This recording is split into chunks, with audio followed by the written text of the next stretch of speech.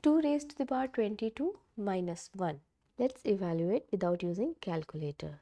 So 2 raised to the power 22 we can write it as 2 raised to the power 11 times 2 minus 1. Now there is an identity where if a raised to the power m times n then we can write it as a raised to the power m whole raised to the power n. So this we can write it as 2 raised to the power 11 whole raised to the power 2 minus 1.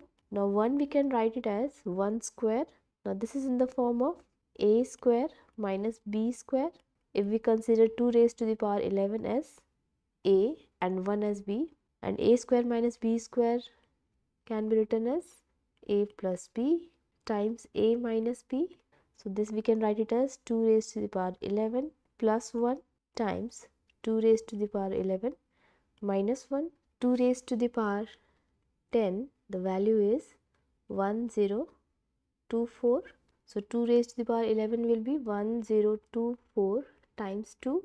So this is 2048 plus 1 and 2048 minus 1 or 2049 times 2047 or we can write it as 2000 plus 49 and 2000 plus 47.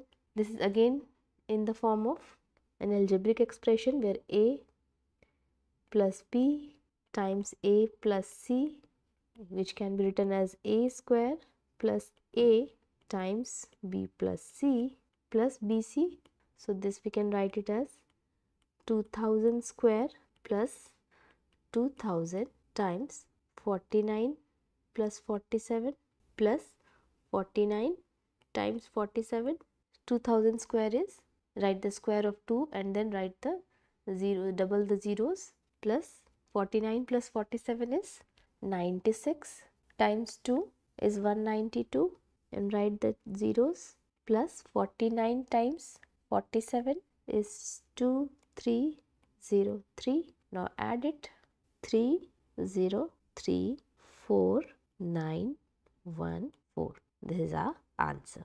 Like and subscribe. Thanks for watching.